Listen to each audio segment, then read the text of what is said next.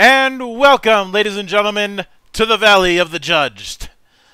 I am your one and only gaming monk, better known as Mildra, and with me I have my good brother here in the temple, the man of a thousand runes, the CEO of Zadare Enterprises, and the bane of my fucking existence, and managed to bane it before we even went live, good brother Xanatrix. we are back, and much and much like much like before, much like before, now that we've handled the basics and covered and covered a bit of ancestries and backgrounds, it is high time for us to delve into the classes, and this will happen largely in a similar fashion to how how th how things worked out um, with Level Up, us going through classes individually. Unlike last time, we actually have 20 levels to work with. It's so refreshing. Having so many features we can look at and, well, have fun with. Mm-hmm.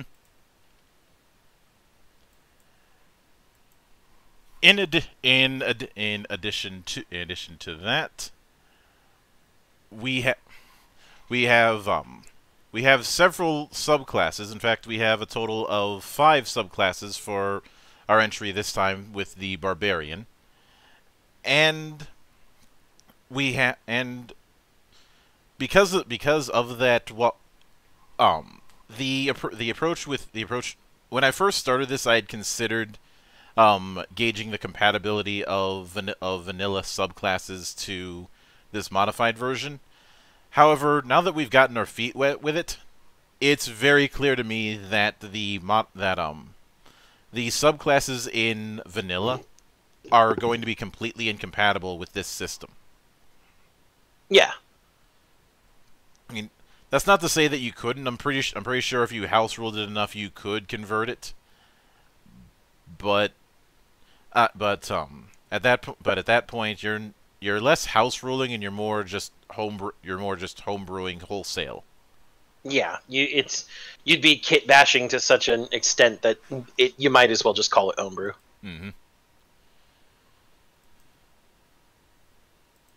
Now, with the, with that in with that in mind, as I said before, we're starting with the barbarian which which is going to bring up a is going to be interesting because putting aside putting aside the fact that within this system, um, you're getting an equal amount of stuff from your ancestry as well as your choice of class, and and because your ancestry actually matters here.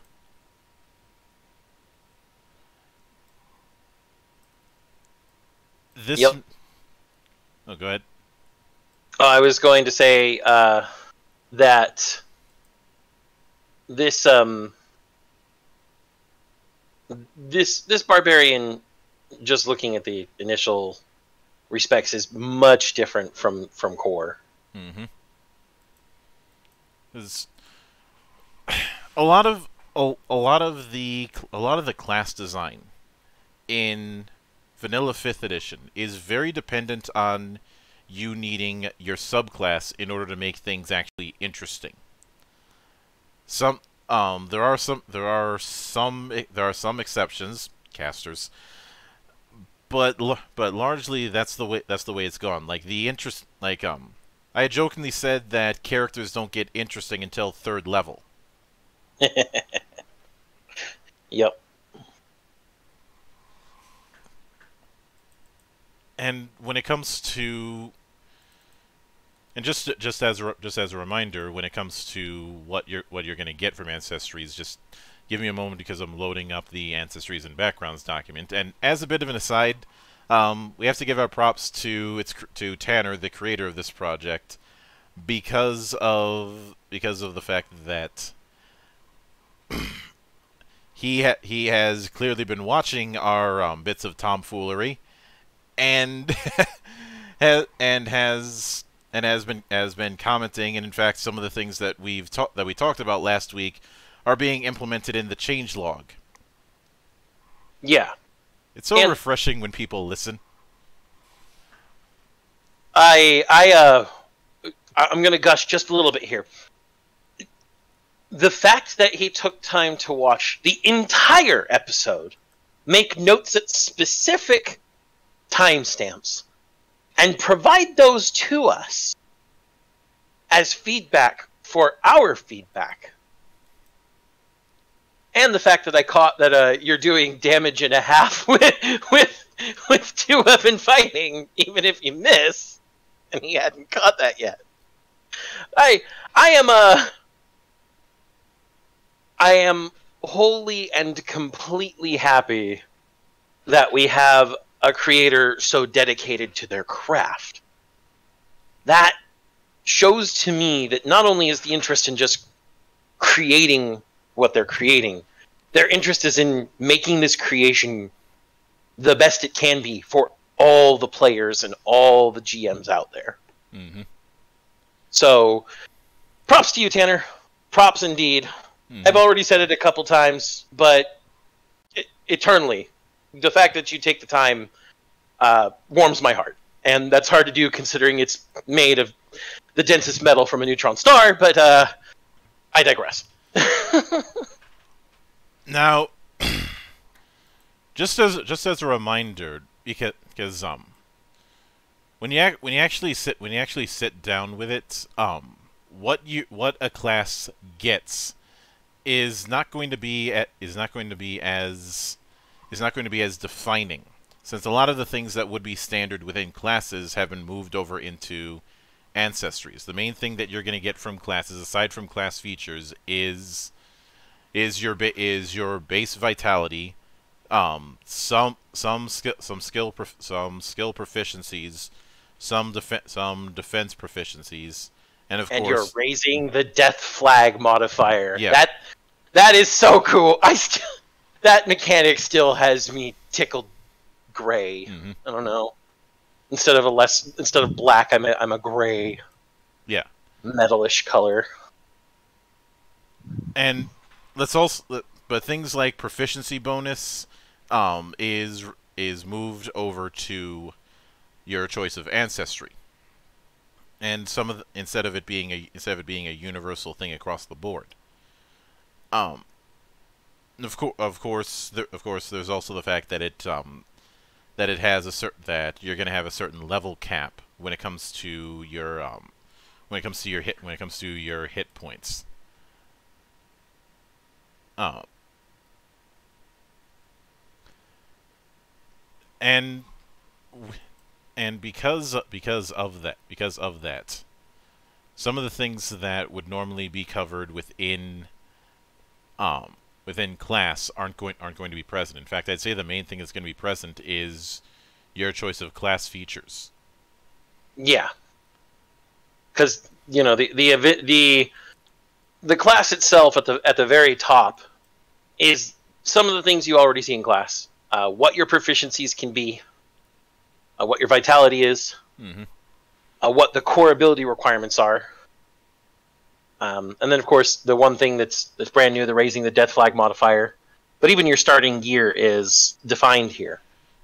Uh, beneath that is mucho, mucho, mucho, mucho, mucho. Like that's all in the first half of the first page. Everything below that is class features, and that's a twelve-page doc. Mm-hmm. So uh, we have a lot to to bite into here, as it were. Yep. Uh, Now, the van- the vanilla barbarian is largely rage and survivability um effects.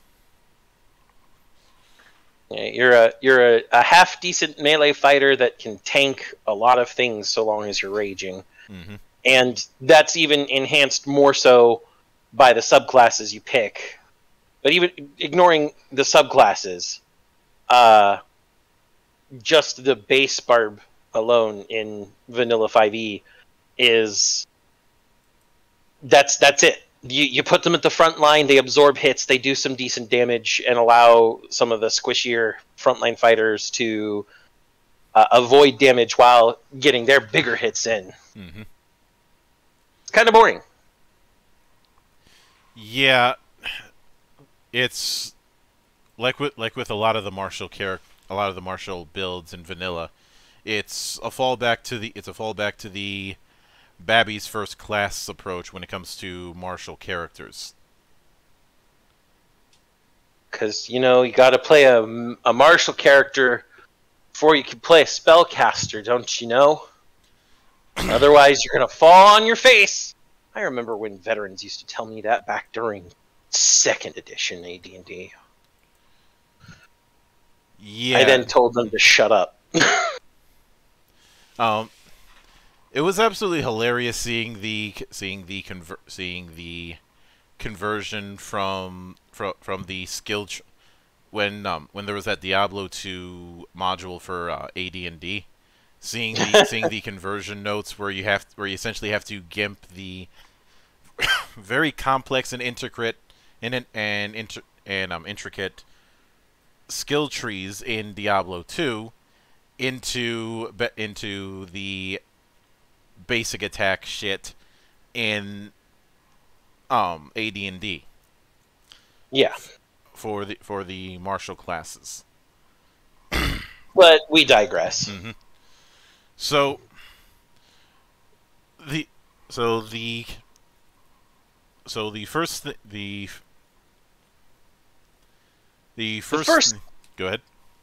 The first thing on the page about this barbarian is flavor text, and I I am compelled to read it. Yep, go right go right ahead.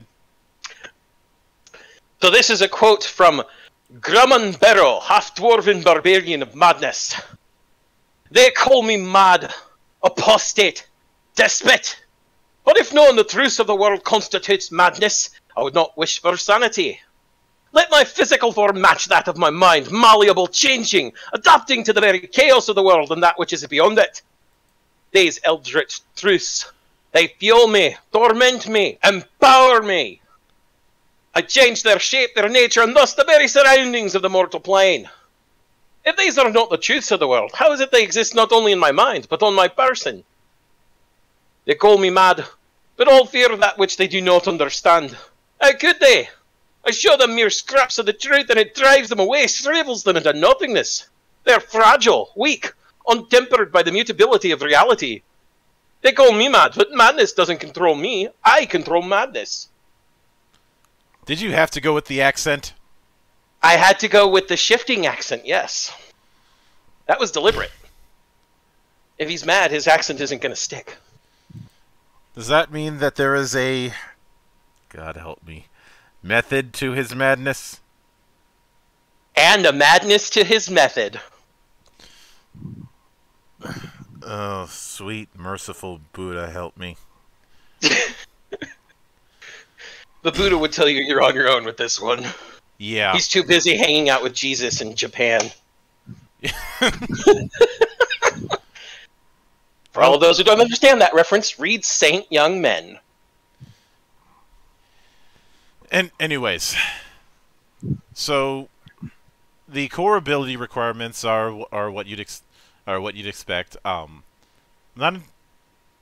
I, f- I feel like I feel like calling it requi- I feel like calling it requirements is is so- is something that should be adjusted because of the connotation that requirement has. Like we're not we're not dealing with the whole you've got to qualify for a certain class a la AD and D. I, I think a better a better term would be uh, core ability recommendations. Yeah. because the best barbarian will be either using strength or dex and resolve as their core abilities. This also means that we, it, this be, because of because of that we're um I'd say I'd say we're comfortably not in a case of um, case of mad because we're giving the implication that barbarians are going to be either strength builds or dex builds with some resolve. Uh, it says here that resolve is the ability score used for skill or spell attacks you make as a barbarian. So resolve is their casting stat. I So love that. um, next, when it comes to proficiency, we have light shields and standard shields. Let me see what the um, and simple for proficiency in all weapon types. Interesting that they instead of interesting that they don't have any sort of light armor. as far as Um, their as far as their proficiencies. Uh, well, remember that the proficient you do also get proficiencies from your ancestry or background, and uh, you probably get some armor proficiencies from over there. Uh, let me t- let me take a let me take a look. Um, bonus for the for the dwarf. Um, not un, not unless not. not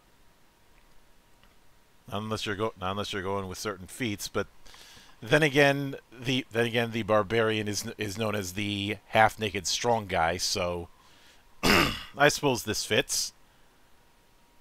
Yeah, but nothing will ever make me uh, laugh more than a dwarven gut buster. So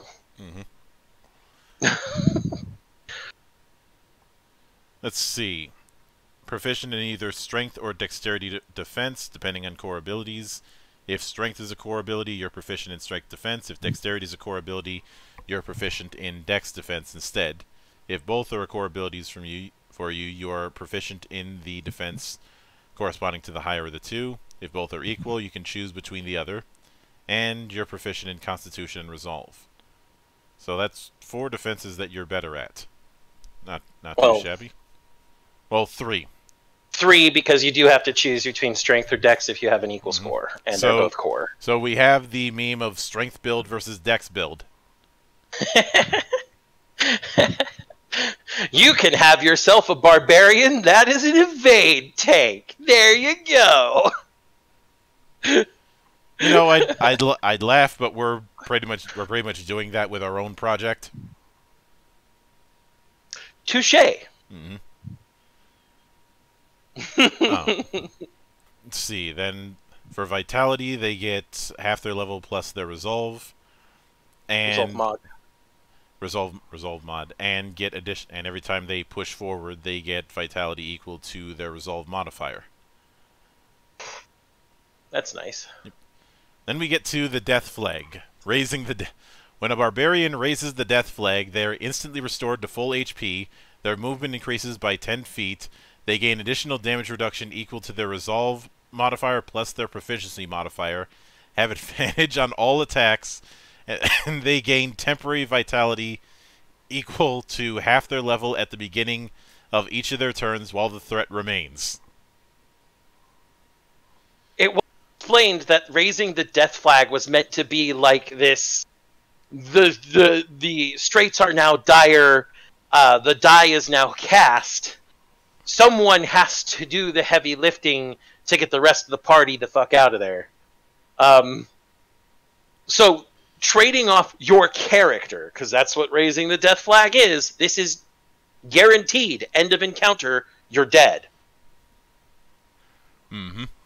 For that sort of advantage makes perfect fucking sense.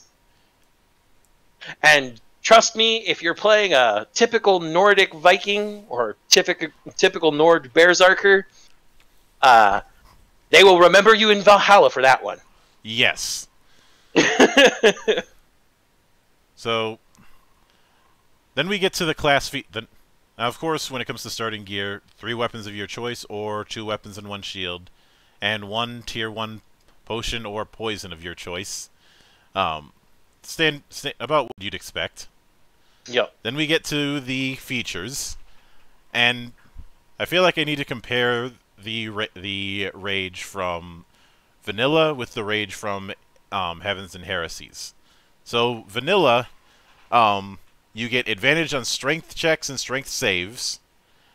You get you get a level you get a level based bonus based um, to to damage with strength attacks, and you get resistance to bludgeoning, piercing, and slashing. It it it it and it lasts for one minute, and it and and you can and you have to finish a long rest before you can rage again. Mm.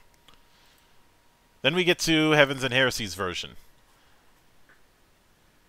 So you have advantage on strength. Varian. I was Yep. going to read the flavor text. Oh yeah, go ahead. As a barbarian, you can fill yourself with fervor and fury to aid yourself against any who would oppose you. See, while you are threatened, you may enter into a rage. While raging, you gain the following benefits if you aren't wearing armor. You have advantage on strength checks. When you, you when you make a melee weapon attack a, or a thrown weapon attack, you may add your proficiency bonus as damage. In order to to cause you to lose all your remaining willpower and knock you unconscious, damage from an attack must reduce you to zero hit points and exceed your maximum hit point total, rather than half. Your ra your rage does not end if you fall unconscious and only subsides when the encounter is over or the threat is no longer present. At the beginning of your turn, you may choose to attack recklessly. If you do, you have advantage on melee and thrown weapon, atta weapon attack rolls, but you make but melee and thrown weapon attacks have advantage against you until the beginning of your next turn. You know I'm always a sucker for risk reward systems. So th- this is actually something that we did directly discuss in our project as well. So Mhm. I like that. Um, so now we see why they don't, they don't get an armor proficiency because armor does them no good in their rage. Mm-hmm. So this is this is really playing into the half naked strongman archetype. Yes. As opposed And that's to be- as opposed to just poor man's Hulk. Yes. I uh I really like the fact that it's just like I'm going all in on killing you Mm-hmm. because there's there's no there's nothing here that reduces uh damage you take. It just makes it so that in order for you to go to 0 HP, you have to have an attack reduced to 0 HP and exceed your entire maximum hit point total. Which, That's uh which means which means you which means you ca- which means you are the embodiment of I didn't hear no bell. okay, Randy. I didn't hear no bell. Mhm. I guess Randy could be a barbarian in Heavens and Heresies. um, Um, I, I especially like that that the reckless attack, which in other systems is its own feature, is an included feature for this feature. It's an included secondary piece of the feature. what I do what I do like here is the fact that um rage is rage is not on a arbitrary time limit. Yeah, you rage until encounter is over or the threat is gone. as opposed to a mit and even more so there isn't the whole there isn't the whole fatigue bullshit which en- which ends up discouraging people from using rages more often than not in my experience Yeah, it just happens when you're threatened. When you're threatened, you enter into rage. Um, but now we also see the other reason that they don't have armor the second first level barbarian feature un- unarmored defense. Mhm. You gain dr equal to your con mod. You can wear a light shield or a standard shield and gain the and gain effects unlike all other dr this this does not this um reduces damage taken from conditions. When you're not wearing armor your resolve grants you hit points equal to half equal to half your level um round rounded up times your resolve modifier. So um we are we are leading a little bit into into the into the into the tanky setup of the um, Final Fantasy 14 fi- um, warrior. You know who's got who can get ridiculously high HP compared to everybody else, even other tanks. Ridiculously high HP, and he's not bad as an off DPS. Hmm. Uh, I think that I think this is a better form of unarmored defense than oh just just add just add another ability modifier. yeah this is this is uh you can still use you know most of your shields too and you just get dr and you get bonus hp while not wearing armor Mm Mhm. So if I'm gonna be if I'm gonna be Conan here, I'm gonna be Conan here. Then we have Primal Vigor, where while raging, you may utilize a quick action 5 feet in order to expend an amount of vitality equal to half your current level rounded up. For each expended vitality, roll 1d10 and add your con modifier to the roll of each d10, and you gain hit points equal to the total. And then there's a developer's note here. In this system, HP isn't the same as health. Hit points are the point at which you are hit and can represent something different depending on the character. This can be a measure of a character's grit, ability to aid attacks, or magical defenses, whatever the player chooses to represent them as. So this feature is less Wolverine regeneration and more akin to an ability to avoid a truly damaging strike throughout a fight. That that is an interesting thing to bring up, because I remember when healing surges were first int- were first introduced into fourth edition, and a lot of people were a lot of people were saying that a lot of people were claiming that it was over magicking because because it was self healing a la Wolverine, even though hit points are very much an abstraction, and this is one of those uncomfortable truths that a lot of people don't want to acknowledge. Hit point if you hit points are not a measure of health in that sense. If you really want that, um, there are wound systems for that. Wound systems, or in the case of Heavens and Heresies, vitality, which represents your your you know vitality and willpower, that internal, more focused will to live, essentially. Let's not forget that going to zero hit points doesn't mean you're dead. It means you're knocked out. Um, a la most Final Fantasies, incapacitated or KO as it's usually called, hmm and uh, and it's only the convenience of life being a short four-letter word that could fit within a character limit that got us the life spells because they were originally called raise, arise, etc. Yeah. Um, it, the implication behind most systems that have health points or hit points or any other way you want to call HP is that this is the growing battle fatigue. This is the, the, the less you have, the more likely you are to slip up on the battlefield and end up unable to lo- to battle any longer and that's that's what this this abstraction actually really feels like that, Mhm. especially with the description that they that uh, that Tanner gave. Yeah. I just, I just, I just feel it's, I just feel it's apropos to bring that up because this is one of those things that a lot of people, even, even veterans, screw up. Um, Yeah, zero HP is not death. I remember when it was neg ten HP.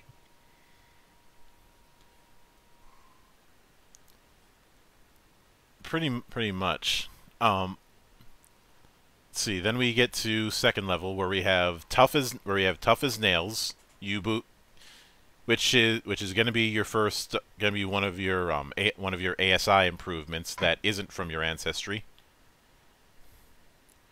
And you're going to get another one of these at 6th, 10th, and 15th level. Yep. And then it's uh, strength dex or con by two, hmm and you cannot choose to raise your highest ability score in this way unless two or more of your highest ability scores are equal. I do So I do like that when it comes to ASI in this in this setup, there are restrictions so that people don't dump it and try and get and try and race to 20. Yeah. Uh, let's see. Then we have we have charge.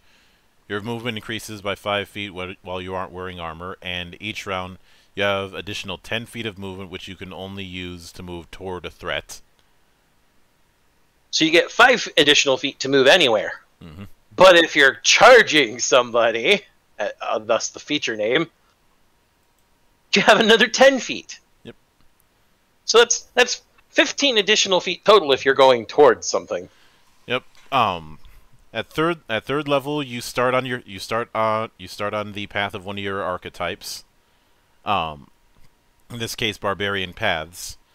Although I'd I'd say, given the stuff that's at first at second level, that thing I mentioned before about classes not getting interesting until they get their subclasses, I don't think applies as much here. No, a lot of the things in first and second level, especially things like primal vigor, the ability to, to spend vitality to get HP, um, or even charge, which you know gives you the ability to close in on a threat very quickly. Because you, can tell with the secondary feature, the secondary part of that feature, a lot of it is you're the guy who rushes in and beats the shit out of stuff, and you get the shit beaten out of you too. But your whole thing is, I'm raging. You can't hurt me as much as I can hurt you. Um, and that's just with just that stuff alone. Before even before you actually take your barbarian path, that gives you more flavor. Um, much like an original bag, an original no, not an original bag, an original can of uh, Pringles. Even those are pretty good. Once you pop, you can't stop. hmm I'm sure a barbarian would say the same thing about all the heads that he's taking. Once you pop, you can't stop.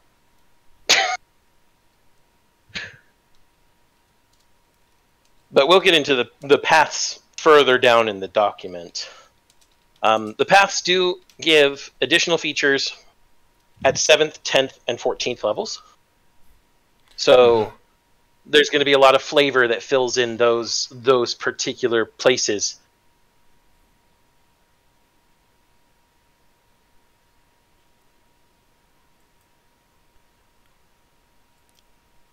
All right. Now with the with that in with that in mind, then we get to fifth level, which gives which gives us cleave. Um, once per round, we you may have your weapon attack deal an additional die worth of damage. In addition, you may add your ability modifier to your damage um, rolls with weapon attacks an additional time. You gain the Great Weapon Fighting style. If you had previously taken the Great Weapon Fighting feat, you may gain another martial feat of your choice in its place. I'm starting to see. I think this is. Tanner had Tanner had DM'd me um, a few days ago and said and said that maybe we should tackle feats before before we tackle classes. I think things like this are probably why, but I just but I felt that I needed to go with classes before I went with feats because classes are going to be the most player-facing setup. Whereas yeah, they're going to have the most meat to bite into as well. yeah. That's not that's not to say we won't get into feats when the time comes. I just felt that classes should have been a higher priority for us, but I can see why he gave that suggestion. I have Oh. a um, song playing in my head, Monk. Can you guess what it is? Guts and blood and blood and guts. Uh, barring the fact that Guts wears armor, this is Guts through and through, which is uh, apropos considering the name of his source material. Yep. Um It says you can apply the mm-hmm. effects of this fighting style to weapons that do not have the heavy quality. In the case of thrown weapons, the weapon will be able to pierce targets behind the initial target rather than adjacent to if the attack kills the initial target. Like I said, it's Guts. Mm-hmm. It's fucking Guts. Let's see. At higher levels, then you ha- at 11th level it becomes cleave plus. Once per round, you may have your weapon attack deal an additional die worth of damage for a total of two additional die, and may add your proficiency modifier for for damage rolls with weapon attacks an additional time. And after killing a threat and before applying re- the remaining damage from your weapon to another threat, you may move 10 feet as a free action. Finally, your range with all thrown weapons increases by 10 feet. So here's Greater Cleave. Mm-hmm. And at 17th level, once per round, you may have your weapon attack deal an additional dice worth of damage for a total of three additional dice, and your range with all thrown weapons increases by 10 feet. Probably should put the probably should put the total the totals in parentheses on both ends. Well, yeah, again, clarity is probably most of what we're going to nitpick here, and it really is just a nitpick. Um, because I, I still I can follow this enough to go. So that means that that uh, with greatest cleave, as I'm going to call it, because cleave plus and cleave plus plus, while funny to say, are uh, this is not a programming language. We are not programming and killing things. uh, essentially, at at greatest cleave, you have three additional dice worth of damage uh, to your weapon attack. You also add your proficiency modifier. Uh, an additional time Mm-hmm. and uh, after killing, you'll still have the ten the ten foot movement, and the throwing weapon range increases by a total of twenty feet. That t- that ten foot free action movement is the five foot step that Great Cleave used to give you in, in back in the day, except better. Yep. See, then we go into the great weapon fighting fighting style. Whenever you reduce a creature to zero hit points with a melee weapon attack from a weapon with a heavy quality, you may deal the excess damage to another creature within your melee reach, provided your attack roll would al- would have also hit that creature. Before you make a melee weapon attack with a with a weapon that has the heavy property, and with which you are proficient, you can choose to not add your proficiency to your attack roll. If you do so, you may add 4 plus your proficiency modifier to the damage roll if that attack hits. So great weapon fighting is basic cleave and power attack in the same one. Yes. yes, it is. And on a, on a miss, you subtract your proficiency modifier from the total roll of the damage dice before dealing half damage, minimum one. So not only do you, so we have three things with great weapon fighting. We have cleave, we have, uh, we have power attack, and we have still hit though.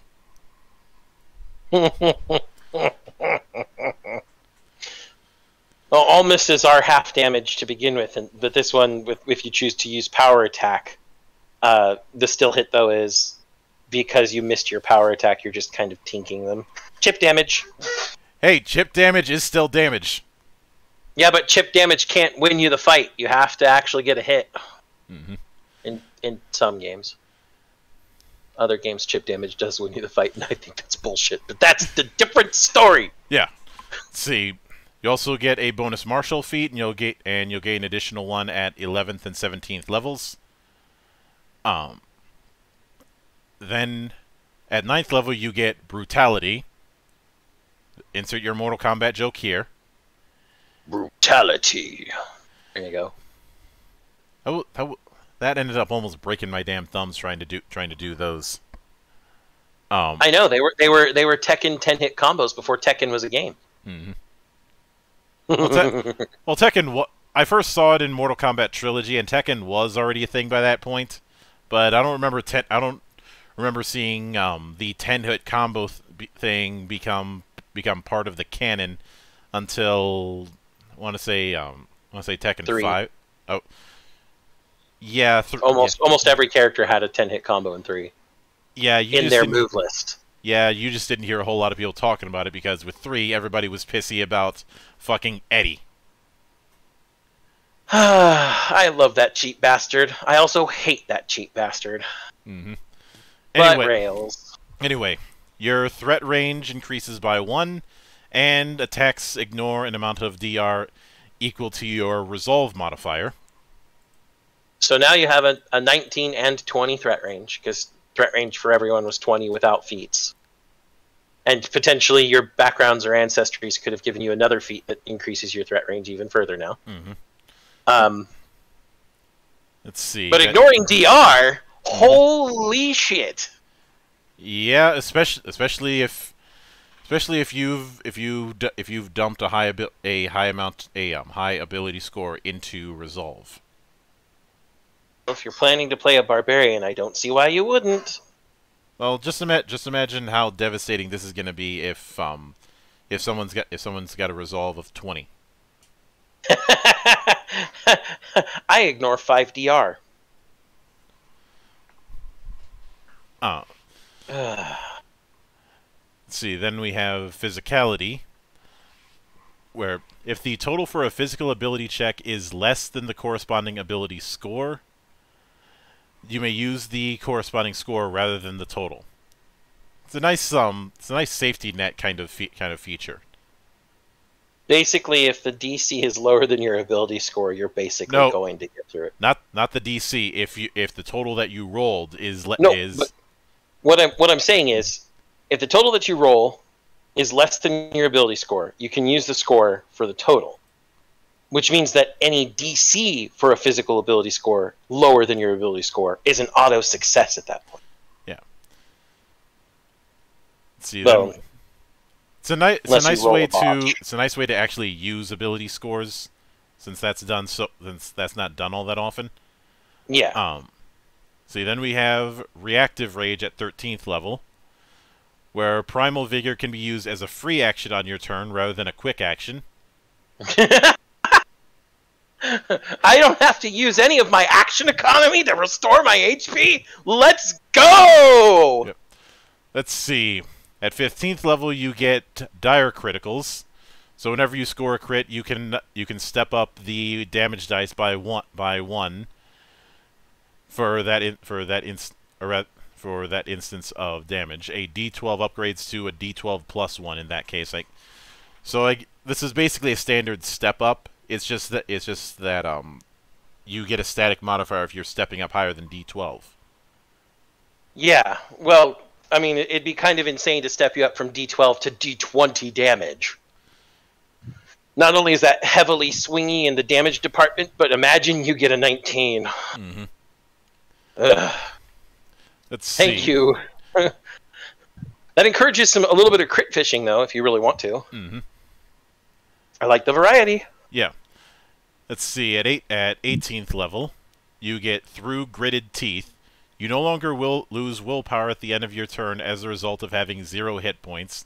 Taking damage while at zero hit points still counts against either your willpower or vitality as normal. So once again, we have the I'm still standing kind of thing, and the capstone is never say die. Whenever a threat deals damage to you while you are raging, you may gain one vitality as long as it dealt five or more damage before DR was applied. So it's the damage total prior to DR. So it's potential that if you have a high enough a high enough DR on your con mod, because remember it's minimum two. You, if your con mod's high enough, you could have five DR. If something only deals five damage, your DR takes it to one, and you still gain one vitality. Mm-hmm. That's there's there is a level 60 skill for the Dark Knight in Final Fantasy 14, or at least it was level 60. I don't know where they moved it to now. Um, called Walking Dead, where it was a, a- an ability uh, it lasted 12 seconds, and if you were reduced to zero HP within those 12 seconds, you then got an eight second timer where you were allowed to stay standing and if someone restored you to full hp prior to that eight second timer you were alive it was a way to, to, to prevent death in the event that a tank buster was coming and nobody could raise some defenses around you or your cooldowns were mistimed Mm-hmm. this reminds me kind of of that not the same exact obviously because the mechanics are quite different but the intent Mm-hmm. So, and it's it's certainly a, it's certainly a step up on a capstone than ju- than just one gi- than one giant ASI boost. Uh, we don't, we don't, we don't talk about that anymore, Monk. We're finding better alternatives, especially Heavens and Heresies. Yeah. So then we get into the archetypes, and the first one is Path of Blood, which um, is very is very much emphasis- seems to be emphasizing that whole pushing you across the line. The first feature is um, blood for blood, a simple trade, your blood for theirs. When a when a creature with a with a melee or thrown weapon when you hit a creature with a melee or thrown weapon attack while raging, you can expend vitality equal to half of your current level, max 5, rounded down. When you do so, add 1d8 physical damage to the roll for each expended vitality. Both you and the creature take this additional damage. When you score a critical hit with this feature, you may double the amount of dice you roll for damage as normal, but only take damage for the initial spent vitality. At 10th level, you gain resistance to damage dealt to yourself through this feature. I'm gonna bleed and you're gonna bleed, but as I get stronger, I bleed less. Mm-hmm. Um, this feels. Why am I getting? Why am I get? Damn it! You put the you put Dark Knight's um Souleater ability in my head when it comes to thinking of this.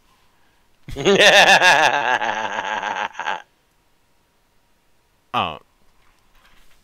But yeah, that is it is basically fuck me, no, fuck you. Um, at seventh level, they get Commune in Blood. You may expend one vitality in order to use the Speak with Dead ritual in the Divination Artistry. You may only use this feature to commune with spirits that have died within the last 12 hours. You need not have proficiency in the Divination Artistry to prov or provide any materials to use this feature. You gain information as you as if you had provided one material whose quality is based on your current level. At 1 to 4, common. At 5 to 10, uncommon. At 11 to 16, rare. At 17 to 19, very rare. At 20, legendary. At 20th level, I commune with dead as if I had uh, spent a legendary material. Mhm. Okay. Um, I mean, that's that's fantastic. Uh, It, it, that makes it useful no matter what point in your character progression you're at. Yeah. At um, seventh level, you gain Bloodlust. Whenever you kill a threat, you gain temporary HP equal to your Resolve plus Resolve mod plus character level. If you kill a creature and your temporary hit point total is equal to or greater than the amount you would receive from this feature, you may regain one vitality instead. In the course of a single turn, killing multiple minions of the same pack only counts as killing one creature. That's a good that's a good caveat to add since minions only have one HP. Yeah. A, a little bit of, uh, of an explanation there, though we're not going to get into too many details. Uh, there are multiple creature types and encounters, and multiple ways encounters can be uh, resolved. Mm-hmm. Uh, the lowest creature type, a minion or a mook or whatever you want to call it, is a thing with one HP that you literally don't even have to roll to hit or kill. You just declare you moved to it and killed it. Um, it's kind of there as an obstacle more than anything. Mm-hmm. And remember, as we said, there are multiple ways to resolve encounters. Uh, one of the things Tanner clued me in on is there may be encounters where fighting to kill everything is a bad idea, such as endless packs of goblins from the mines or whatever. Goblin Slayer, anybody? What? Uh, Mhm. why do I hear boss music? uh, but that's something we'll get into further down the line when we do the encountery proper. Mm-hmm. Just wanted to make that clarification. Yeah. Oh.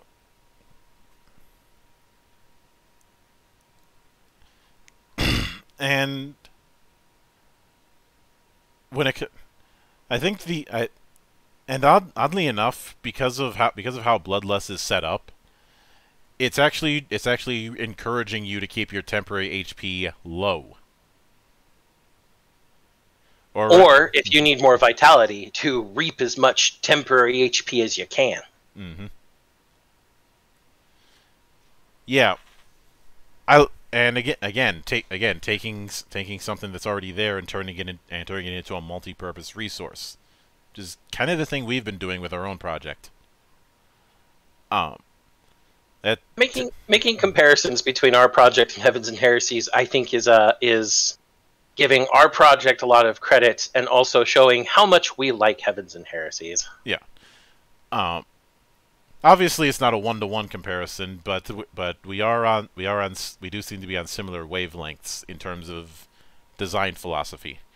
Um, yes. So at 10th level, you gain Rupture. When you're hit with a weapon attack, you may also inflict a severity of the afflicted physical condition equal to your Resolve modifier. And whenever a creature moves while afflicted by this feature, it gains one severity of the aff- of the afflicted physical condition for each five feet it moves. That's a good. That's a good way to ki- to kill off the en- the endlessly shifting kobold fuckery.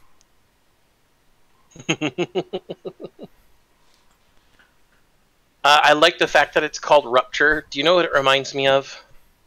What? And yes, everybody's going to everybody's going to think this is pretty weeb of me.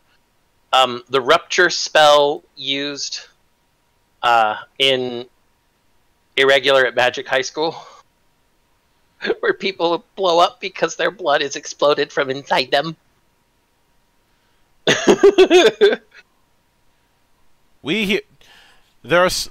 Do I look like a grog to you? no, but I can hear the grog screaming, and that's why I said it. Good. And there and the path capstone for Path of Blood is Living Blood. Creatures cursed by your rupture feature have a severity have a severity of the vulnerable condition equal to your resolve modifier for as long as they are afflicted by the feature. Um I I feel that I that we need to we need to look into we need to we need to, we need to look back to your into um, conditions? yeah into con- into conditions. So now I got now I got to fig. So now I got to figure out where that it where that was.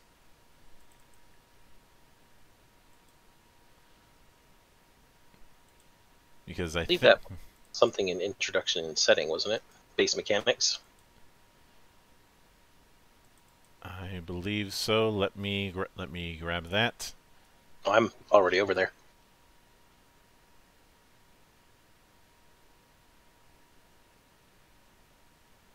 Yes, conditions and wounds. Uh, page looks like page am I at here? Thirty-eight to fifty-nine is where it starts. hmm Um, so afflicted condition. Uh, first to go over with afflicted because we're afflicted physical.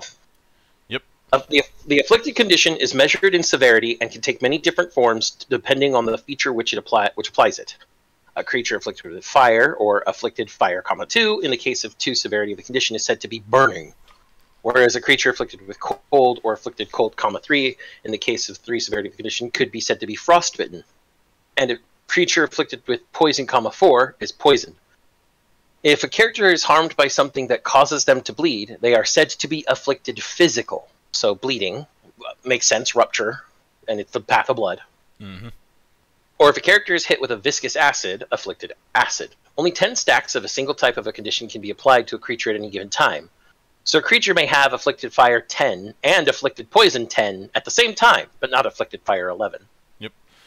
And then, as for what it does, Mhm.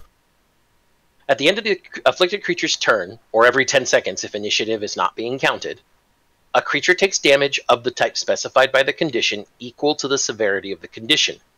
After taking this damage, the severity of the condition reduces by one. And then vulnerable. Uh, when a when a creature is afflicted by the vulnerable condition takes damage, the threat range for attacks against it increases by one for each severity of the condition. So, so by using rupture, You are doing You some are- crit fishing. Path of Blood is your crit fisher. It's a dot. It's a dot crit fisher. It's a dot. What is this world? A a damage a bleed damage crit fisher. Those are two things I never thought would go together. And and and the risk versus reward is hurting yourself to hurt everybody else. Mhm. What is this? I love this. and it can and it's this is the only the only way you could possibly get away with this is is if you ha- is because of the fact that the core um, barbarian in this setup has hit points for days Mm-hmm.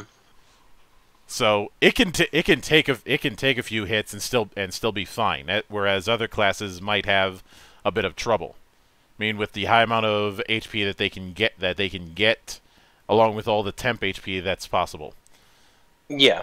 I I'd just like to point out that with Rupture and Living Blood, bro- both, it's your Resolve mod that inflicts the severity. Mm-hmm. So if you're at 20 Resolve by the time you get any of these, or you get to 20 Resolve at some point, that's five five severity of afflicted physical and five severity of afflicted vulnerable.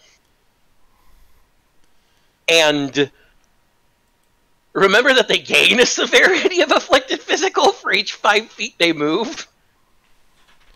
So if they move 25 feet away from you after you've aff- afflicted them, they they're already at 10 severity of afflicted physical and 5 severity of, of afflicted vulnerable and they'll take 10 damage from their afflicted physical at the end of their turn and then it'll go down to afflicted physical 9 but then they took damage so because of vulnerable the threat range is it's, a, it's a terrible. It's, it's fantastic but it's oh my god terrible. And that's just the first effect of, of vulnerability. Uh, if the severity of this condition surpasses a creature's fortitude score, attacks against that creature's physical defenses have advantage. And if the severity of this condition surpasses a creature's focus score, attacks against that creature's mental defenses have advantage. Jesus. Well, you're right, fucked, aren't you? You are? Mm-hmm. So the next archetype we have is the Path of the Primal Spirit.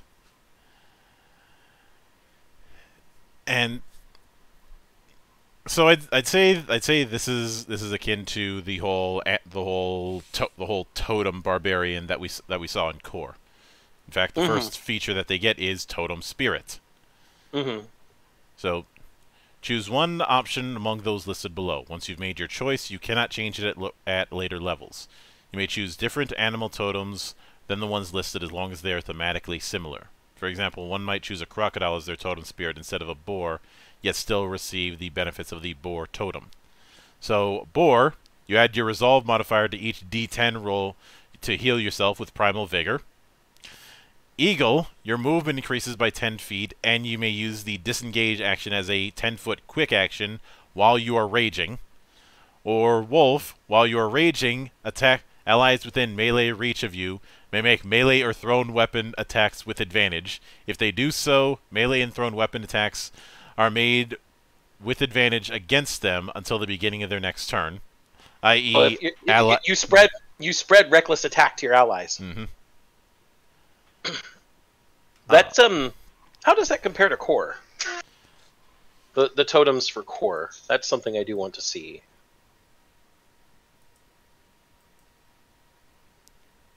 Let me look. Let me load. Okay, so I so I we'd probably be looking at the totem warrior sub subtype, and obviously they had they had more um, totem spirits. They had five instead of three. But Mhm. for the for the sake of this, we'll only use bear, eagle, and wolf. So bear, you have resistance to all damage except psychic. Um, eagle, other creatures have disadvantage on opportunity attacks against you, and you can use dash as a bonus action. And wolf, your friends have advantage on melee attack rolls against any creature within five feet of you that's hostile to you.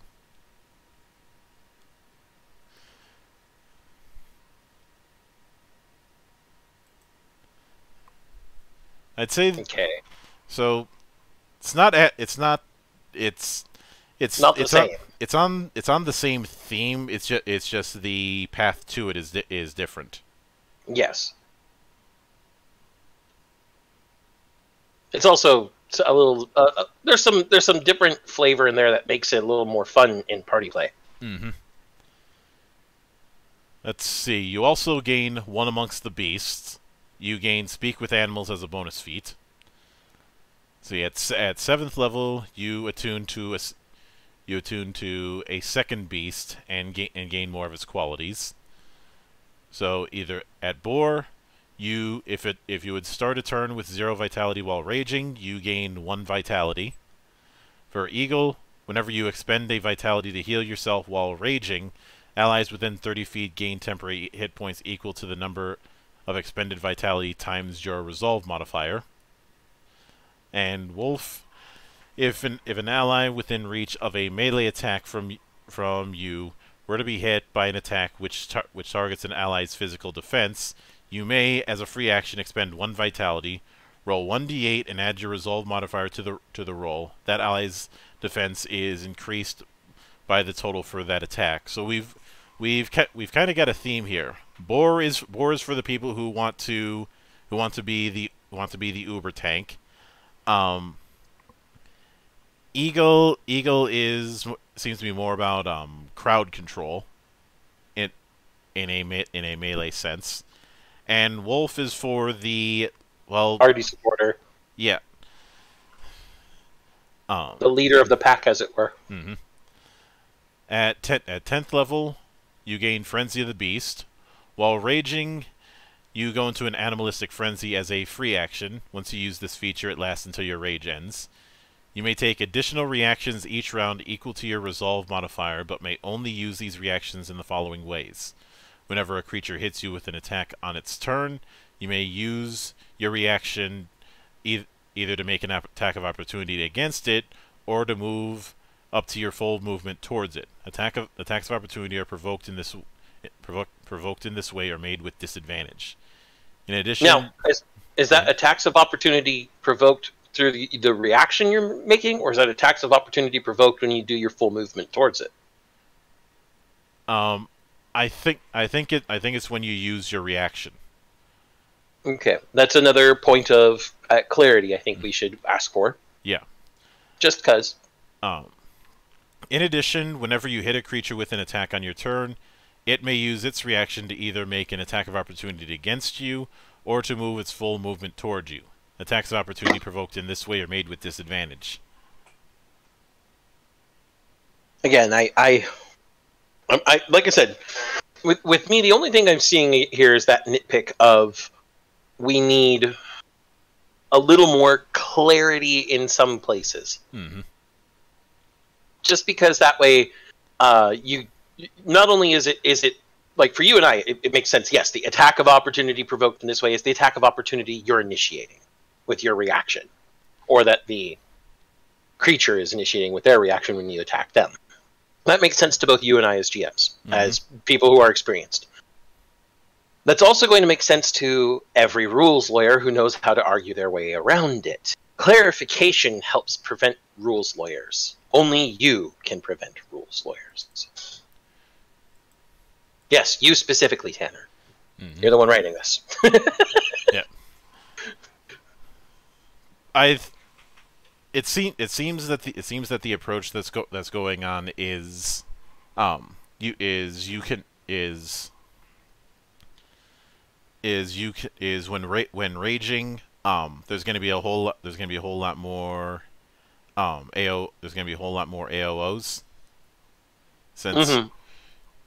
Since you since um when someone hits you you can do you can you can attack with disadvantage when you hit when you hit them they can attack you with disadvantage it's that case it's that case of high risk high reward that I I feel like I feel like is one of the major themes that he's go that he's going for with the um, barbarian as a whole.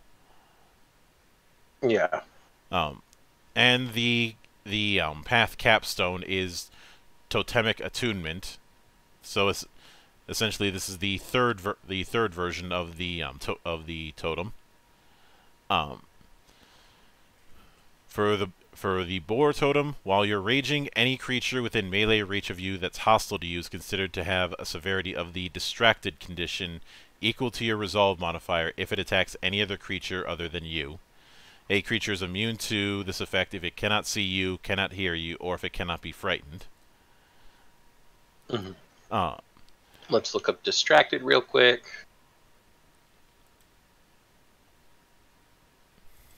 It's technically part of the hidden condition. Mm-hmm. For each severity of this condition, an affected creature that is affecting the creature, creatures which attempt to perceive or attack the creature increase the, um, the chance that they will automatically fail the roll by one, from a one to a four to a one to a five on an attack roll, or to one for an ability check, for example.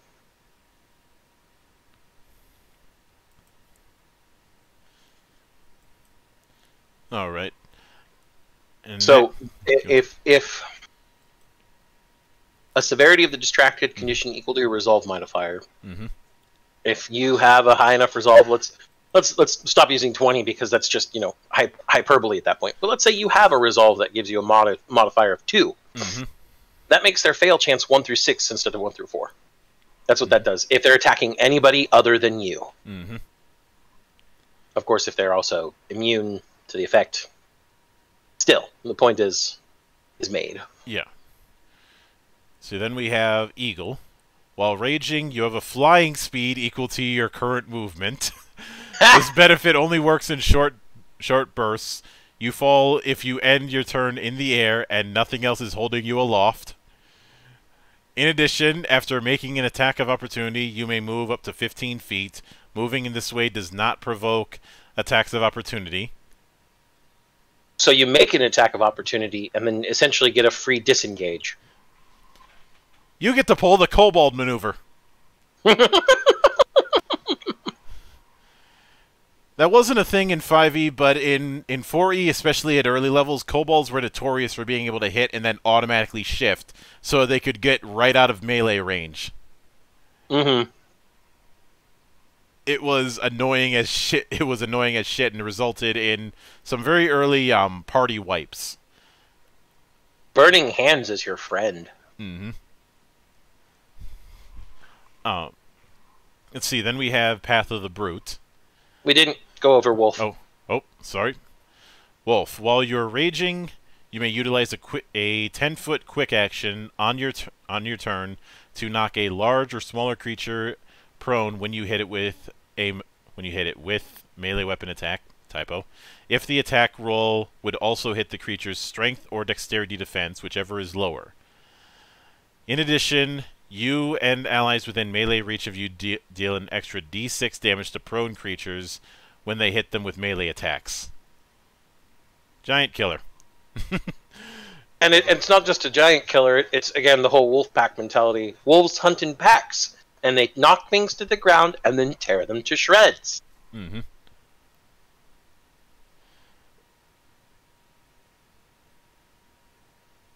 Uh, then we have Path of the Brute. Another, which is a case, which is going to be a case of hit things gooder. Uh, or as I like to put it, heat we steak. hmm Uh, I'll just read this flavor. The path of the brute understands what it means to be a barbarian. Barbarians don't need primal affinities, eldritch knowledges, or zealous fervor. They need to hit things hard, and they need to survive. The path of the brute, while not the most complicated of archetypes, exemplifies both of those things. I love that flavor text. So, at third level, they get heavy-handed. When, whenever you attack with a melee weapon, you deal an additional 1d6 bludgeoning damage to the target, regardless of whether or not the attack mi- hits or misses. It was too- So, it's the Dragon Slayer.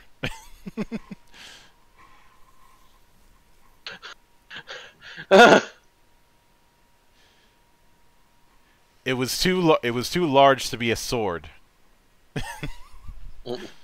Well, n- no, no, no, no, no. We're we're gonna use. that thing was too big to be called a sword. Too big, too thick, too heavy, and too rough. It was more like a large hunk of iron. Pretty pretty much. Um and you know I will. Ne- I will never say anything. Anything but pray, sing anything but the praises of Kentaro Miura, especially not only with his ext- extraordinarily detailed art style, but that man's way with words was magnificent. You know, I I want I want to check one little thing in in equipment because I'm I am honestly curious if um things like spe- if things like pole arms are considered heavy. Because if they are, that is going to result in a very ridiculous build. Ridiculous. As if Ridiculous. well as well ridiculous er, I guess I should say. I was I was going to say ridiculous. Don't you mean glorious? So I'm just I'm just waiting for the equip for the equipment thing to look to load because it's got to because it's got to load all the font.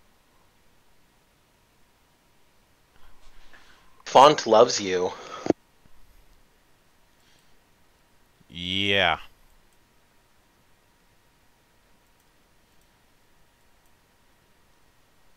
So come on. But in in the in the meantime, I can in the meantime we can go into the ne- the other third level feature, brutish nature. If you would roll an ability persuasion check which utilizes a physical ability, you can do so with advantage. Essentially, it's it's saying you're enough of a brute to intimidate people into doing what the hell you want. Mm-hmm. Because persuasion is a is a is a such a magnificent word. You can persuade people in many different ways.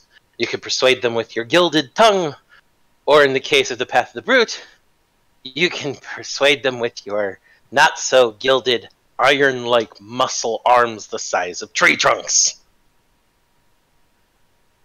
Do an Arnie flex. They will be so scared of you that, that that you will get whatever you want out of them. Um, I just I just checked. Heavy pole arms are a thing.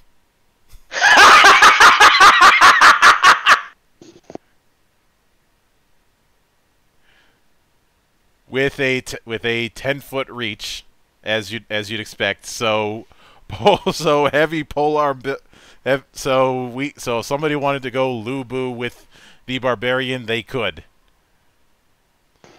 You do not pursue Lu Bu. Um, anyway, at seventh level, the Path of the Brute grants Thick Skinned. Each of your physical defenses increases by one. Your Constitution score goes up by two. Okay. At tenth level, you get Thicker Skinned. Your Con score goes up by two, and your maximum Vitality goes up by two. And at 14th level, you get Heavier Handed. The damage with Heavy Handed increases to 2d6. Brute is very much meant to be the uncomplicated subclass. See, if you if you wanted if you wanted to, to sound like a grog, you would say that this is the true Babby's first archetype. To us, intellectuals, we know that this is just geetwistique and fun. Yeah, this is this is for pe- this particular one is for people who are are more are more concerned with with just constantly dishing out damage. They want to hit things good, and that's that's that's it. They want to hit things good, and make sure that if as so long as they're hitting things good, things end up dead, and they do not. And you know what? Sometimes that childlike, simple-minded, wondrous play is all you ever need. It mm-hmm. all depends on how you feel. We here at the monastery do not judge you for wanting to play Heat with Stick. We've all played Hit with Stick at some point. We all still play Hit with Stick at some point. Some of us just use bigger sticks. My stick is only the size of an Imperator Titan. Also, phrasing. I know what I said. So, next is Path of the Fanatic, which um, f- which feels which the the way the description is is given, um, it feels like it's it feels like it's leading a little bit into bar- a little bit into cleric barbarian. not not full not full on. Or maybe Carberador. That is terrible. Uh, Anyway, they start they at third level they gain Fanatic's Fervor first. Your weapons deal plus one damage for each severity of the vulnerable condition afflicting you, up to a maximum of half your level rounded up. Whenever you hit with a melee weapon attack or thrown weapon attack while raging, you may inflict a severity of the vulnerable condition upon upon yourself equal to your resolve modifier. All severity of the vulnerable condition gained from this feature is lost when your rage ends. Once again, we're doing that, Oh, we're doing that risk reward thing. oh no. Oh no. Monk. Monk, What? you should understand this barbarian very well. It's a flagellant. Yep. yep, it is. It's a flagellant. They beat themselves up to fight better. I was right. This is a paladin. This this this is a paladin. And you also gain Yeah. you also gain unshakable devotion. Each of your abilities defenses increases by 1 for each severity of a harmful condition afflicting you up to a maximum of half your level rounded up.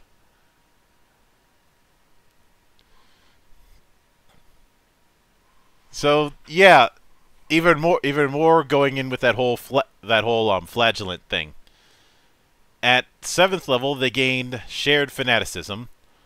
While raging, you may utilize a quick a 10 foot quick action in order to expend an amount of vitality equal to half your current level, rounded up, and heal an ally within 30 feet of you. Roll 1d10 for each vitality expended in this way, and add your resolve modifier to each d10.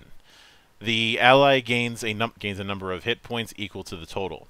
For each vitality expended in this way, you gain one severity of the afflicted fire condition. You're literally using your fanaticism to burn yourself to death.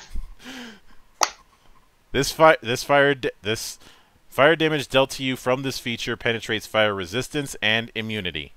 Because it's holy fire. You can't.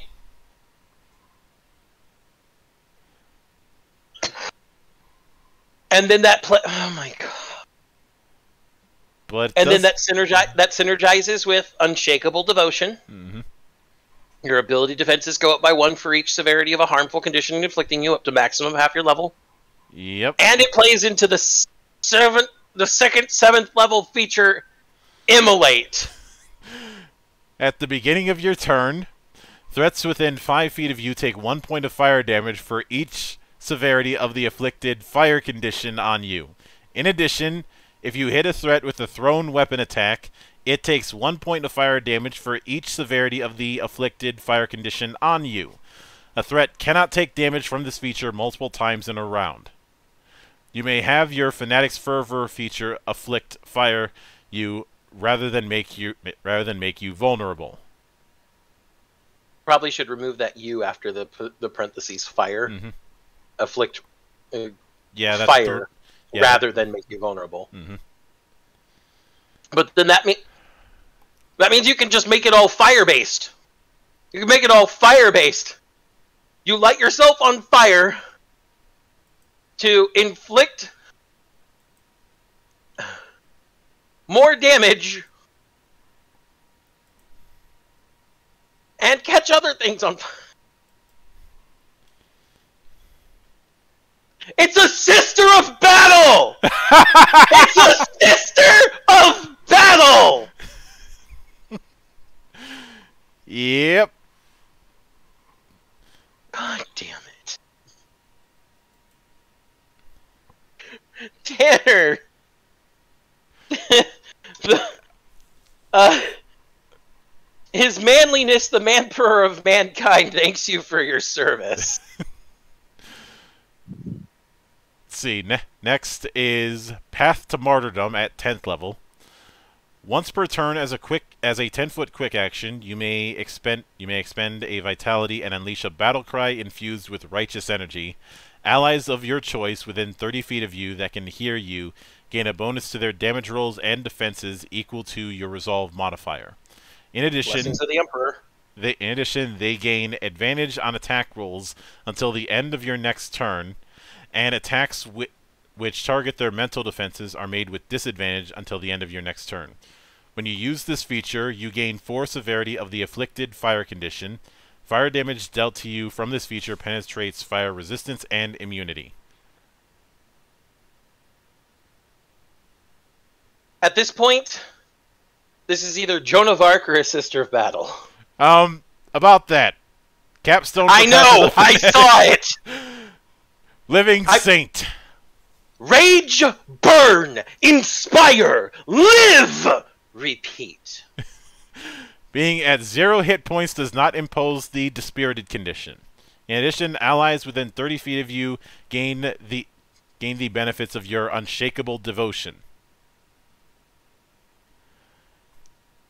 Which mean, i.e., for i.e. for all so all the whole, all the severity buffing that you've been inflicting upon yourself, your allies get. Without needing to be debuffed. I'd say I'd say that's apropos for a for a cap for a path capstone. I'd say that's apropos for a Sister of Battle's Living Saint. Um, Sister Celestine, is that you? why am I? Why do I have? Actually, the ty- the type of the type of sororitas I keep thinking of is the um, Repentia. The Repentia don't catch themselves on fire; they just cut themselves.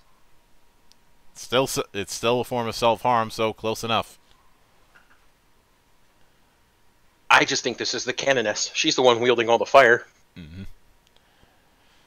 So, Path of Madness. First thing that they get is maddening form, which, um, if this if the sisters of ba- if the sisters of battle are the Path of the Fanatic, would the Path of Madness be the Chaos Champion? Specifically, Tzeentch. You may expend one vitality as a free action in order to gain one of the following effects. You may expend multiple of vitality to gain multiple effects, but may not choose the same effect twice unless explicitly specified within the effect. For each vitality expended in this way, roll 1d10. You take damage equal to the total in the same manner as your maddening form feature, and the and the effects end when your rage ends. First is weapon transformation. You may transform one of your arms into a melee weapon subtype of your choice. In addition, for the duration of your rage, you gain the affiliated mastery feat of the weapon forms you choose. If you transform your arm into a two-handed weapon, you must have your other arm free in order to wield it. You may choose to mutate one or, one or both of your arms, and may choose different forms for each. Pseudopods, your melee reach increases by 5 feet. Amorphous, you gain the ability to squeeze yourself through spaces at least one inch wide and gain resistance to bludgeoning damage. Also, you may occupy the same square as other creatures, even if they are hostile to you. Touch of Madness. Your bonus to skill and spell attacks is equal to twice your resolve modifier plus your proficiency modifier, rather than resolve mod plus proficiency mod. And Alter Self, you may use the Alter Self ritual without having proficiency in rituals or providing the requisite materials. And it's Tzeentch. yep. Master Change. hmm Then we have Perspective of the Mad, which is also at um, third level. Whenever you roll for the Confusion condition, you may roll twice and choose between the two rolls. Your weapon attacks deal plus one deal plus one damage for each severity of confusion afflicting you. Whenever you are hit with an attack, you are thre- while threatened, you may apply one severity of the confused condition on yourself. When you incur a confusion effect on yourself, you may ch- you may choose to not purge any of the condition. So continue stacking confusion. hmm That's what that is saying. Let's let's look at what confusion does. the confused condition is measured in severity, um, and if a creature is inflicted by the confused condition, it must roll a d10 at the beginning of its turn. If it rolls a number above the severity of its condition, it may move and act normally. If it rolls a number equal to or below the severity of the condition afflicting it, it is afflicted by the effect corresponding to the number it rolled on the d10. When a confusion effect is rolled, creature can choose to ignore that effect by taking 1d8 damage for each severity of the confused condition on it. Uh, 1 through 2, the creature makes one attack against a random creature when it's t- within its reach. Uh, 3 through 4, the creature spends its turn babbling incoherently and cannot otherwise act on its turn. Five through six. the creature takes a defensive action on its movement and is or, or, or takes a defensive action and its movement is reduced to zero until the beginning of its next turn. Babbling incoherently? I don't speak Dutch. Freaky deaky Dutch. That um Yeah, we're still we're still going with Tzeentch with a hint with a tiny hint of Malkavian. Well, who said Tzeentch isn't part of the Malkav uh, network? So at seventh level they gain Maddening Whispers. When a creature hits you with an attack, you may, as a free action, let loose the madness within you. I was kidding about the Malkavians. Roll a d8 and consult the following effects. 1 through 3. Each creature within 10 feet of you gains the severity of the afflicted psychic condition equal to your resolve modifier. 4 through 5. Make a skill attack on each creature within a 10 foot radius sphere centered around you, targeting their resolve defense. If the attack hits, a creature gains the severity of the enthralled condition equal to your resolve modifier. 6 through, se- 6 through 7. Make a skill attack on each creature within a 10 foot radius sphere centered, around, centered upon you, including yourself, targeting its resolve defense. If the attack hits, a creature gains the severity of the confused condition equal to your resolve modifier. Or 8. Make a skill attack on each creature within a 10 foot radius sphere centered upon you, including yourself, targeting its constitution defense. If the attack hits, a- a creature gains a severity of the stunned condition equal to your resolve modifier. I didn't see the enthralled condition. Um, that was four and f- that was four through five. No, I mean in the uh, in the core mechanics. It might have been renamed. Um, if it, yeah, I don't see it either. So it's either so enthralled either isn't in there yet, or Or it's hidden. Mhm. The distracted cover blinded. Hmm. I don't know. Stunned is in there though, and we know what stunned does. hmm So it's so it's a it's a case of a once again, once again that whole that whole I gain I gain power by taking hits. Um, at tenth level, they gain Mirror of Insanity.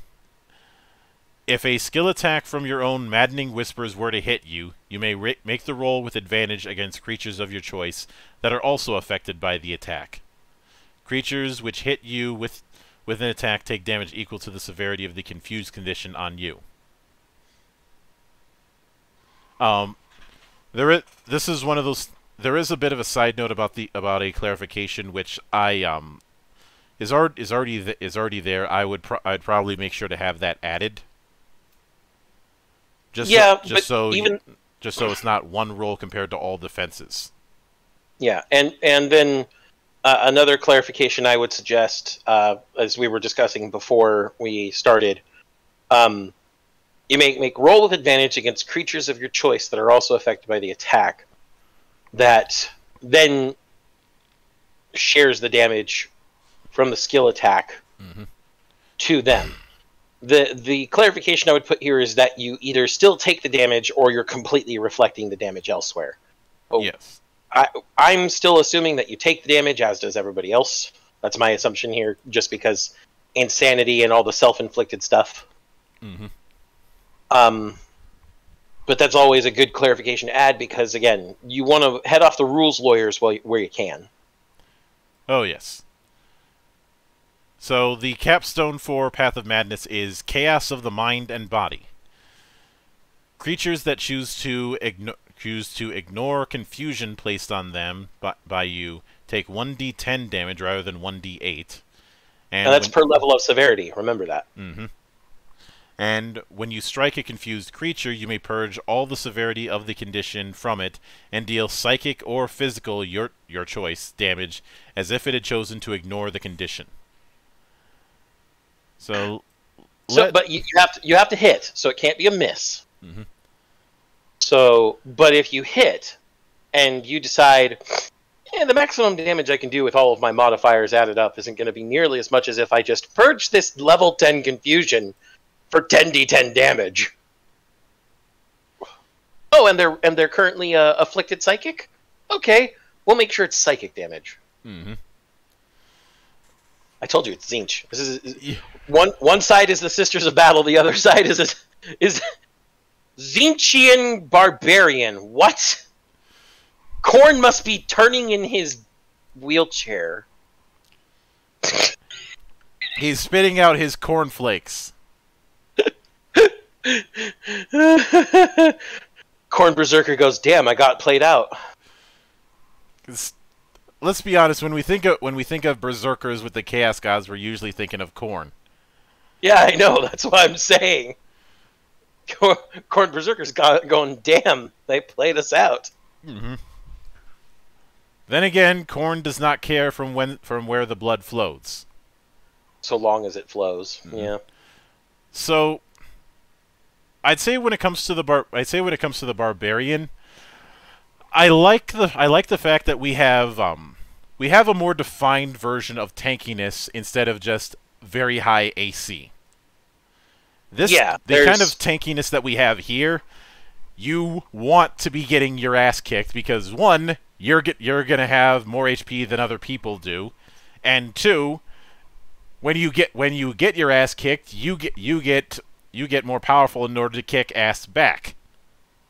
Yeah, uh, especially depending on which of the archetypes you take. But Mhm. even with the base features, uh, the the tankiness we see here is the the damage reduction, the ability to very quickly refill HP by spending some vitality, Mm-hmm.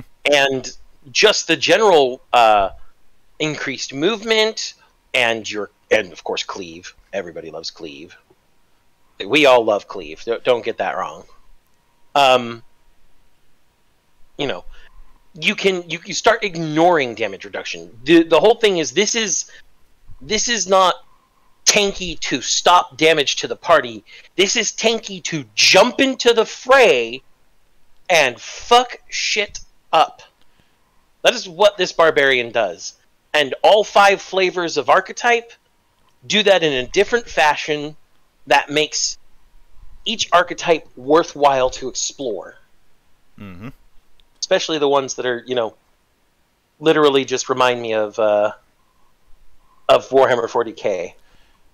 With the, I just realized that there's one that there is one there's one other character who who fit who fits the who fits this particular type of barbarian very well.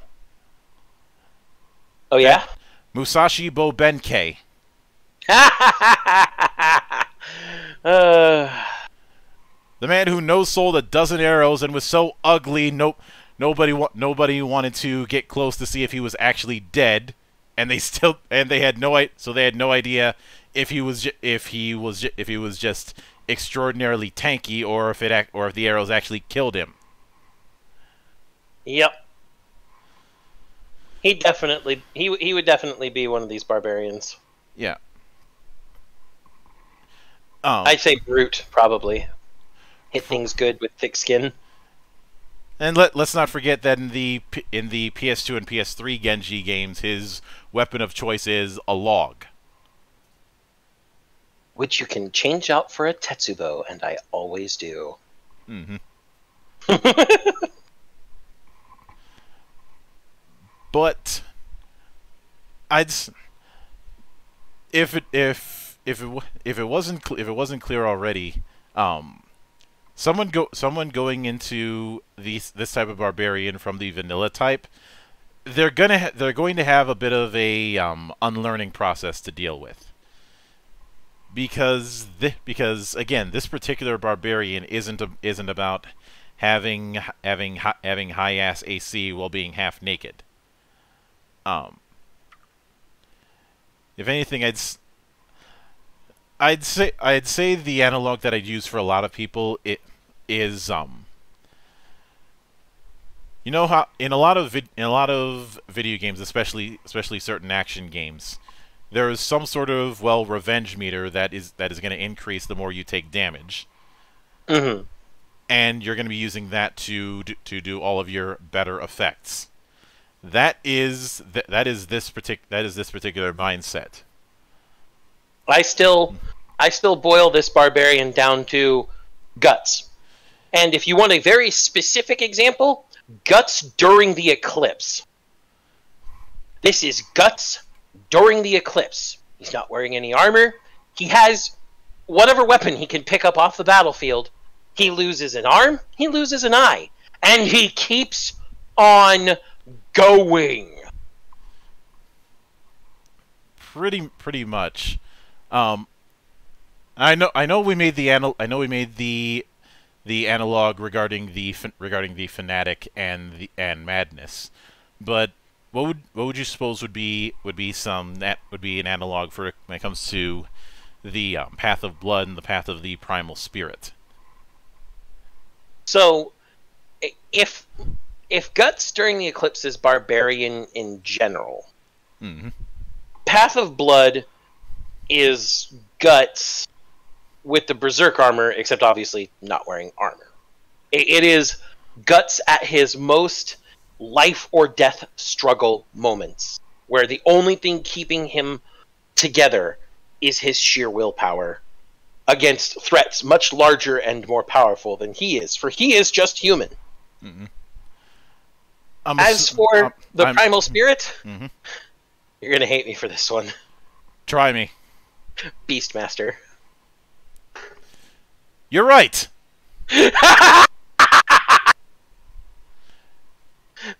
I should I should make you rewatch Beastmaster 2 as punishment. Hey, hey, hey, hey! Now you don't need to go committing war crimes. That's my job. No, if I wa- if I wanted to commit a if I wanted to commit a war crime, I'd have you I'd I'd have you watch um Conquest. okay. Look, Conquest. either either the I was gonna I was gonna say the Lou Ferrigno Hercules, but no, that but no, that does, that doesn't qualify as torture. I mean, you could go watch make me watch Hercules in New York, which is Arnie not knowing how to speak a lick of English. Um, he Arnie was dubbed in that movie. I know. That's what I said. He didn't know how to speak a lick of English while they were actually filming. And to be to be fair, the iconic "I'll be back" line, um, apparent apparently th apparently that took a lot of work, so not far off on that front. Yeah, but I still think Beastmaster fits. Just saying. I'd I'd say I'd say a bit I'd say a bit of a bit of that, and more more leaning into um, a bit a bit of the motif that was in the fourth edition Barbarian. Mm-hmm. A um an approach with an approach with barbarian archetypes that isn't as uh, that isn't as often explored is the idea of them being possessed by animal spirits. Um because that's the purview of the ranger, don't you know? But the yeah, yeah, yeah, go, yeah, yeah, they can and the Ranger is is the most snake-bitten class in in Vanilla 5e, and argu arguably previous editions. Well, it was a it was a very snake-bitten class in third edition as as well. Fourth edition, not so much because, well, Orcus Slayer is a thing which was broken as all hell. Um, but there the the mo now obviously the the most likely explanation for the berserkers rages is the whole is the whole thing of them them being high as balls by eating the berserker mushroom. Hell, Vinland Saga did that. But the fourth edition barbarian had it that rages were its were their um, daily powers, and was leaning more into that idea of being possessed by some sort of animal spirit. And it was it was an attack you entered the you entered the a rage that acted as a stance for as long for as long until you used another da another daily that was a rage. Or so you could say so you could say they entered beast mode. I want to throw things at you. should have taken your chance at Cowtown. Yeah, I should. Yeah, I should have. I was too. I was. I was too I was too busy I was too busy psychologically torturing Bryant. He's such a good target. But getting getting back on getting back on the rails for if this if this is the now this particular approach with barbarian doesn't have the narrative arc that we saw in the level up barbarian but, I think it makes up for it for what it has in mechanics. Not to mention this game that we've seen so far. Because we haven't taken a good look into the other parts of the mechanics yet. Mhm. Um, it isn't trying to create those three pillars of exploration, social, and combat that Level Up 5e was trying to. The focus I've seen, if you want your narrative, is still over in the ancestries and backgrounds. Not only do they give you things having to do with your ancestry and background, you do get a little bit of uh, roleplay fodder. Mhm. Um, but a lot of what we're seeing here is that encounters, whatever they might be, whether they're a combat encounter where you have to wipe out all threats, or as was uh, intimated earlier, an encounter where you have endless waves and just need to get the hell out. Um, I think those are going to be more useful for storytelling than having something that hooks into the narrative. Uh, and the the loose I guess the, the, the loose categorization of backgrounds. How how it even said, you know, backgrounds are complex, but making backgrounds is simple. You you had the just a very widespread categories from laborers to nobles, etc. And then you could focus things down as as necessary from there Mm-hmm. uh, you know your reputation your bonus feat you, you whether you were you had a physically demanding mentally demanding or rounded upbringing um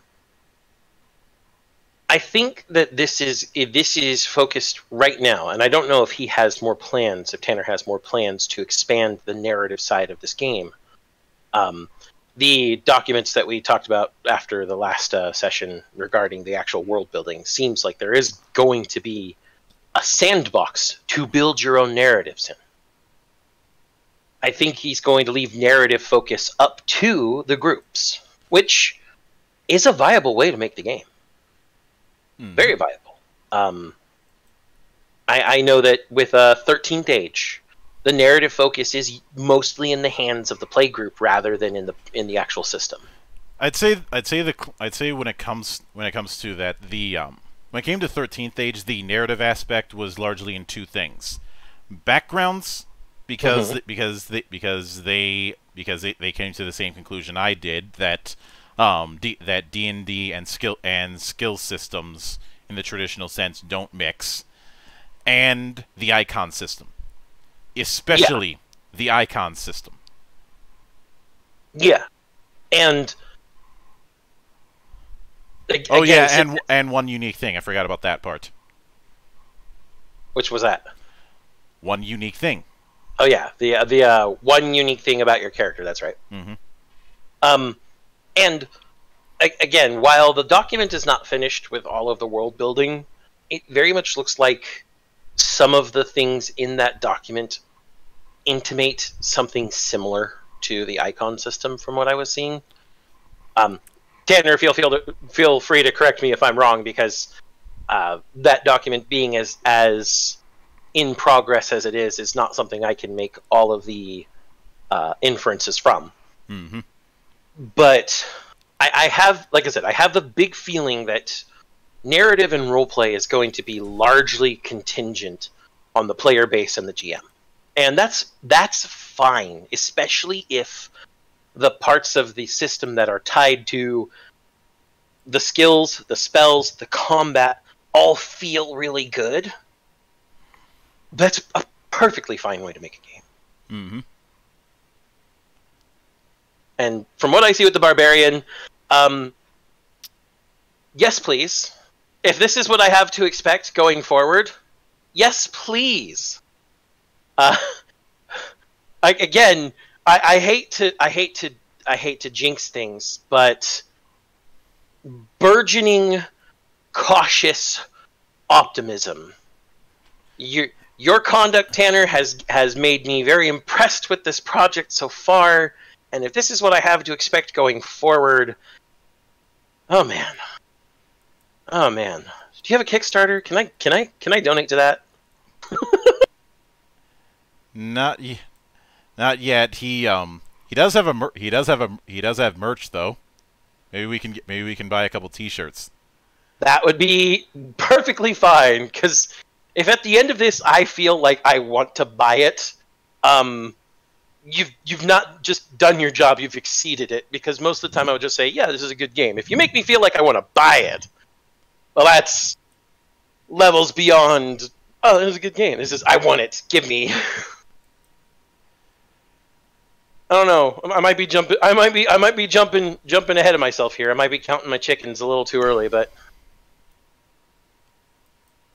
it's a good beginning. It's a good beginning. I'll leave it there.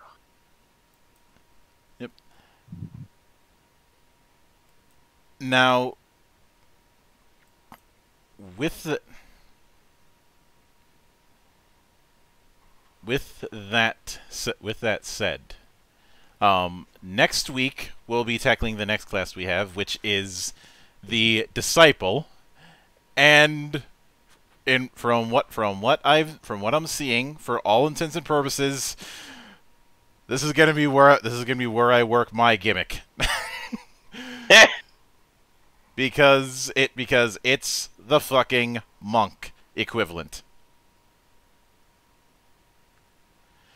Um, it's what it it I had I had to although call, although calling disciple the monk equivalent doesn't doesn't feel 100% apropos, but it's gonna be the it's gonna be a um close enough kind of thing. yeah. but that but we but that is something that we will that we will tackle in in about 7 days or next or next Friday whichever comes first. But until then on behalf of the good brothers present and not present my name is Mildra. I am your gaming monk. Stay fucking frosty everybody